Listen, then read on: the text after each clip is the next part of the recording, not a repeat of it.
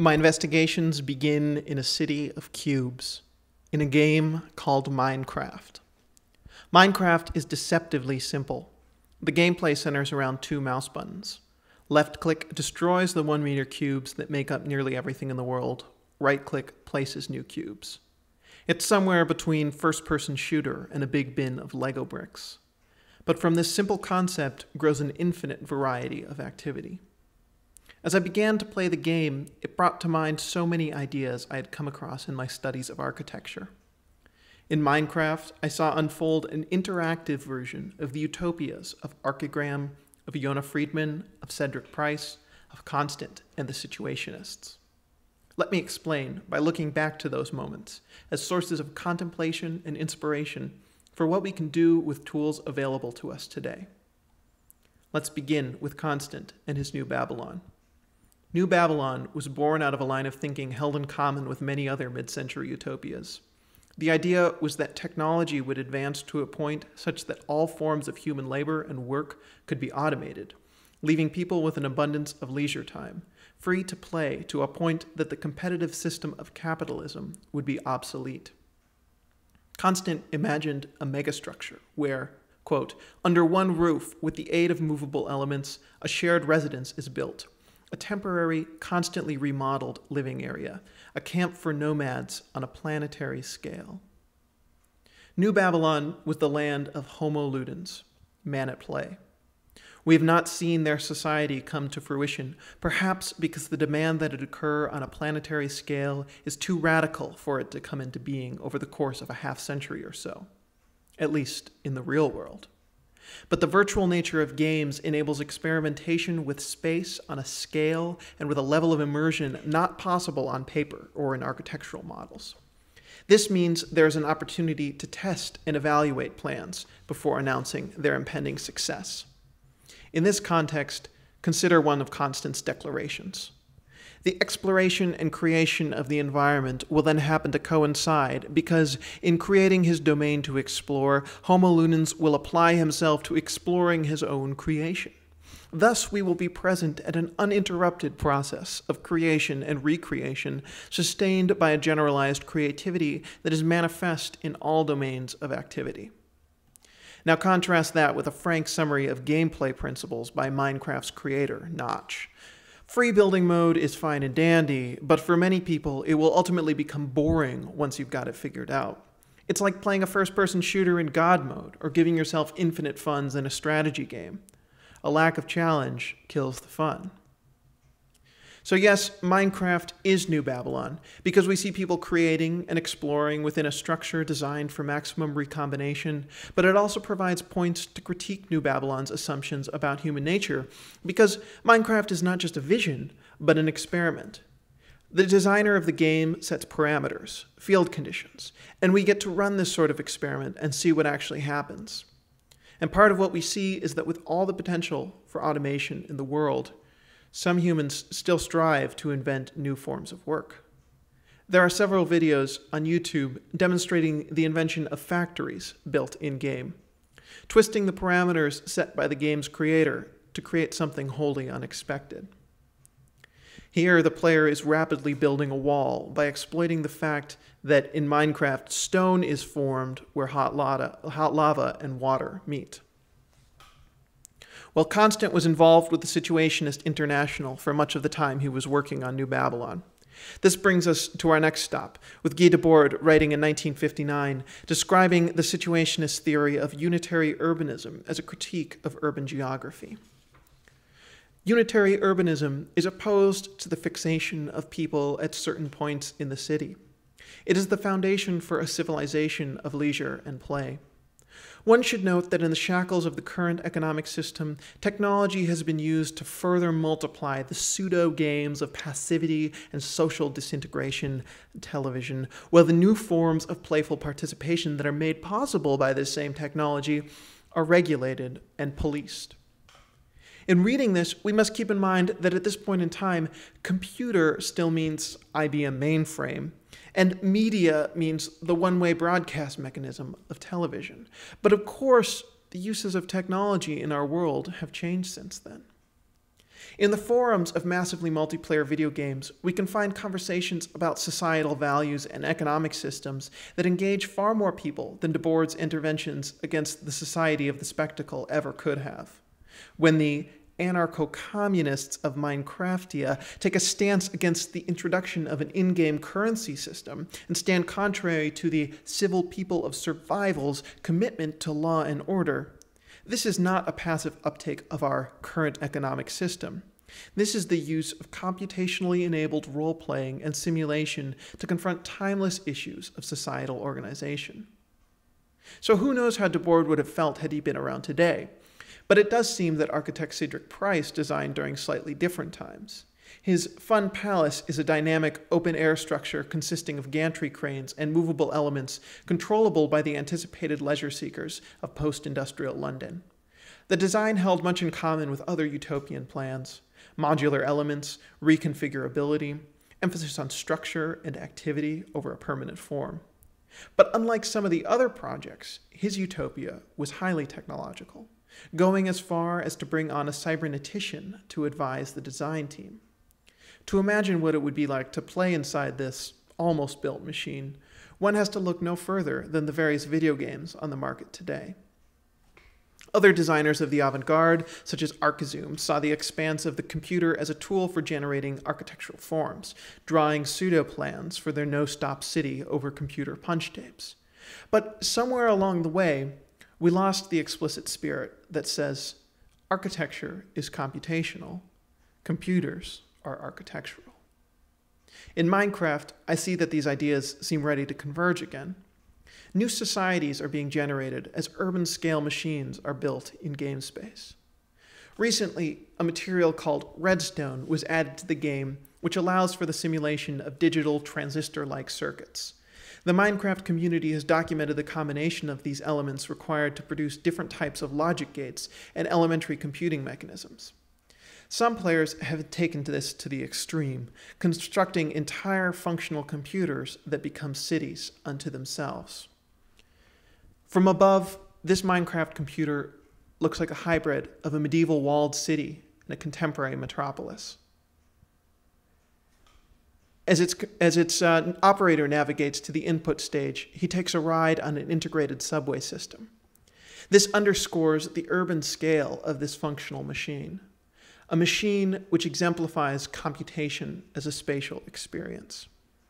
So, from this as a starting point, I endeavor to look at video games and the great urban technologies of mobile devices as a chance to revisit these past utopian visions. Technology available today presents us with the opportunity to reconnect the alluring spaces of these games with the spaces of the real city, where there is a chance for real revolution to take place.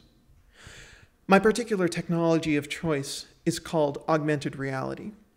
Computer vision, 3D graphics, and location aware mobile devices combine to provide an overlay of the virtual onto the real. The idea is that as you look through the screen of your mobile device, you see not only the image your camera is capturing, but an additional layer of photo matched geometry. The algorithms identify regions of interest, calculate the relative angle and position of the camera, then render the 3D scene from that position, and combine the images into a composite of virtual and real. These images were generated by a prototype of the system I've built that fuses a live, a live view of the Minecraft world with a live view of our real world here outside the building where I work. Players can build with blocks in and around a model of the studios here and then view their creations by moving around a laptop with a, with a webcam in the physical space. Obviously, this experience would be more fluid with the software running on an iPhone or similar device, and this is certainly one of the next steps. Now, one of the other limitations is that the system uses the most readily available open source augmented reality framework, one that is trained only to recognize the distinct patterns of black and white fiducial markers. But the facades of buildings could, with a few software tricks, become urban scale, machine readable patterns, eliminating the need to place additional markers on the scene at all. This is especially relevant in places where physical augmentation is explicitly outlawed. With wide use of an urban augmented reality toolkit such as this, It would create additional dimensions for designers to consider when drawing up the image of public spaces. Should a given surface hinder or enhance the ability to augment it virtually? The development of such a toolkit, tuned to the needs of a user in a city rather than a researcher in a laboratory, is something I hope to continue work on. But architects have been augmenting reality for a long time, at least in still images. These photo montages by Yona Friedman capture the idea of a seemingly infinite space frame grid layered on top of an existing city. The hand drawn lines converge on the same horizon as the photograph, unless they seem to fit in, even if the level of realism does not match. Now, if augmented reality were just about doing this computationally for single images, it would be nothing radically different than what has been done in the past. But as a real time interactive experience, the image can change not only as you move around the scene, but as other players in the virtual space jump, run, climb, build, and modify the environment before your very eyes. I would liken the shift as similar to the production of real-time 3D graphics in general for games, in movies, for architectural work, for architectural walkthroughs, and how they have generated wholly new interactive media experiences, even though the technical feat is just a speeding up of the production of linear perspective images, fundamentals to art since the Renaissance. By moving from passive viewer of images to immersed, participant in a game of dynamic image cre creation, augmented reality has the potential to change the experience of being in, or more profoundly, being a citizen of the city. Now, 3D perspective renderings are not only the only relevant tool used by the utopianists to a project of urban augmented reality. In 1956, the Independent Group staged an exhibition of future thinking work in a show simply titled This Is Tomorrow. The exhibition catalog for this proto mid century utopia included an image by Richard Hamilton composed of figures and domestic consumer objects cut out from magazine advertisements of the day. This was an early use of collage as a tool to reimagine what architecture and cities could become. A tool that used the sudden onslaught of photographic images in post war popular culture to project a picture of future society. The trend is nowhere illustrated better than with British architectural group Archigram. Collage and utopia come together in projects such as their Instant City, a conception of urbanism that suggests the importation of large movie screens as the fundamental precondition to generate urban space. Celebrities' faces, vacation goers, picturesque landscapes, and other miscellaneous icons of pop culture construct a scene that captures the spirit of the anticipated leisure society, which would necessitate such architectural inventions. Today, our experience of image culture has moved beyond magazines. With the advent of Photoshop, everyday folks have been recombining readily available digital images and inventing new forms of cultural expression as they go along. The act of digital collage becomes a sort of turn based network game between uncountable strangers across the world who may or may not be aware that they are acting as cultural producers. And like the gamers of Minecraft, they're almost most certainly unaware of the utopian spirit that once drove such activity. And though the result could easily appear extremely dystopian at first glance, a combination of urban augmented reality tools and Google image search could generate games which channel the energies of image culture on the web into rethinking the image of the city, launching found images onto building surfaces, as shown here, for example. The web has taught us to look where to look to where high and lowbrow forces meet to generate some of the most fascinating movements and phenomena of our day. So it's not my goal to glorify video games as high art in themselves, but to suggest that they can be used as mechanisms of mass cultural engagement at a scale hardly imaginable for the avant garde artists and designers of the last century. Now, one group that was particularly keen on interacting with pop culture was California based Ant Farm. They took on mass media with parodies of consumerism and television culture and created sites for new experiences and countercultural modes of production with their inflatables. The inflatables were architectural interventions used to host happenings and alternative media events, documented with never before available consumer grade video equipment like the Sony Portapak camera. Inflatables were made of cheap polyethylene film and constructed in a manner accessible to nearly everyone.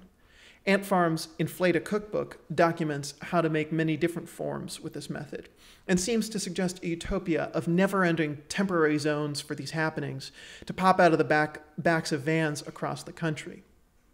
They felt the non rectilinear geometry of the inflatables would raise a certain type of bodily awareness that was conducive to their countercultural goals. So, on one level, there's this formal intervention, but these bulbous forms did not always represent something purely phenomenological. Perhaps the most prominent figure in mid century utopianisms was Buckminster Fuller, whose bold thinking had a strong influence on Ant Farm, amongst others. For Fuller, architectural augmentations in the city were not about changing culture, but about increasing the quantifiable performance of the built environment. His proposition for a gigantic dome to be built over Manhattan forms a striking image, but it was founded on calculations that doing so would reduce the heat loss through the building's skins, minimizing energy use. And now with augmented reality, we have a chance to simulate both what it would look and feel like inside these non-traditional structures, as well as to visualize and manage how they would perform technically. This is an opportunity to make visible the patterns of social and cultural flows alongside the flows of energy and other infrastructural data. So, while some trends in architecture and urbanism promote computation as a tool for mindless form making that lends itself as much to the design of shoes as it does to the design of cities, I see instead an opportunity to increase both our computational and spatial literacies, to enhance our ability to read and write, to program spaces and the machines that interact with them. Now, rather than playing the old situationist game of psychogeography where one navigates the city of, say, Paris by using the map of London, can we invent a new game where the infrastructure, the infrastructure of one city is programmed to behave like that of another? Rather than remain the armchair mayors solving imagined problems in a game like SimCity, can we take our collective augmentations of urban infrastructure out into the field where they might connect with our daily experiences? As I walk across the freeway to get to school here in San Diego, my mind sometimes drifts back to my days in Boston, imagining how distances between places here would feel if connected by that city's subway system. The ability to rewire and programmatically simulate changes in infrastructure, with an open endedness found in the free building games like Minecraft and a spirit encouraging derivative works is found in collage culture and the juxtaposition with the real image of the city enabled by augmented reality technologies begins to suggest something beyond situationist psychogeography. So with this, I propose as the project of our time, the production of new games of cyber geography.